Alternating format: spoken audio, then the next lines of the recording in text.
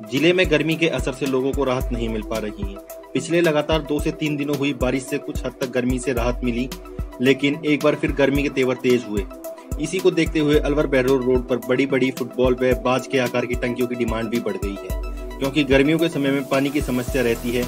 इसी को देखते हुए टंकियों की डिमांड बढ़ी। टंकी बनाने वाले रघुनाथ ने बताया कि कुछ समय पहले तक यह चलन सिर्फ़ पंजाब में था, लेकिन समय के साथ साथ अब यह टंकियाँ अलवर ज़िले में भी चलन में आ रही हैं।